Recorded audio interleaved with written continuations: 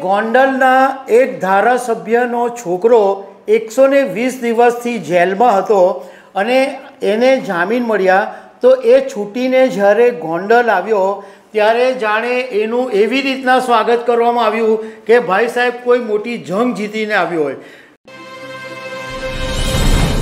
નમસ્કાર. દર્શક મિત્રો, આજે ગોંડલમાંથી એવા દ્રશ્યો આવ્યા કે ચોંકી જવાય. આશ્ચર્યથી આંખ પોડી થઈ જાય. વાત એમ બની કે ગોંડલના એક ધારાસભ્યનો છોકરો એકસો ને વીસ દિવસથી જેલમાં હતો અને એને જામીન મળ્યા તો એ છૂટીને જ્યારે ગોંડલ આવ્યો, ત્યારે જાણે એનું એવી રીતના સ્વાગત કરવામાં આવ્યું કે ભાઈ સાહેબ કોઈ મોટી જંગ જીતીને આવ્યો હોય. દિવાળીની ઉજવણી થાય એવી રીતના ઉજવણી કરવામાં આવી અને આ ધારાસભ્ય જે મહિલા ધારાસભ્ય છે, એણે એના છોકરાની આરતી કરી, કંકુ ચોખા લગાવ્યા, આર ફૂલહાર ચડાવ્યો અને એટલી બધી ખુશી એમણે વ્યક્ત કરી કે જાણે એમ લાગે કે ઓહો, એમનો દીકરો તો કઈ બહુ મોટી જીત કરીને કે ગોલ પેરિસમાં ગોલ્ડ મેડલ જીતીને આવ્યો હોય ને, એવી ખુશી આ દેખાતી હતી. અને ભાજપના કાર્યકરો પણ ખુશીના રાજીના રેડ થઈ ગયા હતા. તો આના વિશે હું તમારી સાથે વાત કરીશ. મારું નામ રાજેશ શાહ અને તમે જોઈ રહ્યા છો ખબર છે ડોટ કોમ. દર્શક મિત્રો, જૂનાગઢના એક દલિત યુવકનું અપહરણ કરીને ગોંડલમાં ગોંધીને માર મારવાના કેસમાં ગણેશ જાડેજા, જેને ગણેશ ગોંડલ તરીકે વધારે ઓળખવામાં આવે છે.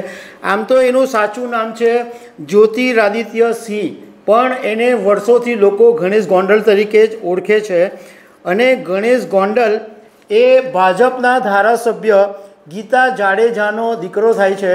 હવે આ જે જૂનાગઢના દલિત યુવકનું અપહરણના કેસમાં ગણેશ ગોંડલ એકસો વીસ દિવસથી જેલમાં હતો.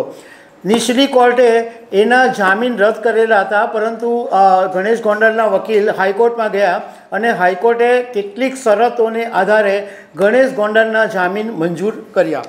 હવે ગણેશ ગોંડલ એકસો વીસ દિવસ પછી જેલમાંથી છૂટ્યો હતો એ પહેલાં આશાપુરી માતાના મંદિરે ગયો અને આશાપુરી માતાના મંદિરે જઈ અને પછી જ્યારે ગોંડલ ગયો, ત્યારે ધારાસભ્ય ગીતાબેન જાડેજાએ એમનું એટલું ભવ્ય સ્વાગત કર્યું કે જાણે દિવાળીનો માહોલ હોય. ફટાકડા ફૂટ્યા, દીવા સળગાવેલા, ફૂલહાર કર્યા, કંકુ ચોખા કર્યા, એની આરતી ઉતારી અને ભાજપના નેતાઓમાં તો ખુશીનો કોઈ પાર નહોતો.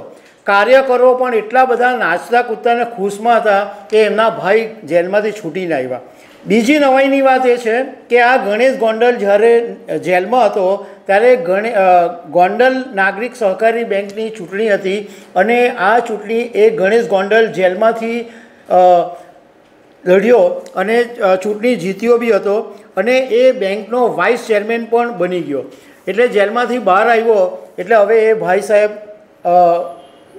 વાઇસ ચેરમેન તરીકે પણ કામ કરશે.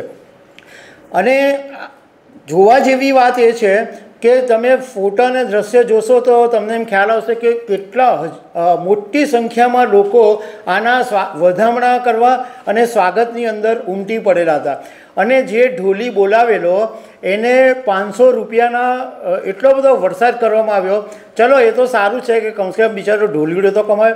પરંતુ નવાઈની વાત એ છે કે એણે એવું હું પરાક્રમ કર્યું કે એણે આટલું બધું એનું સ્વાગત કરવામાં આવ્યું.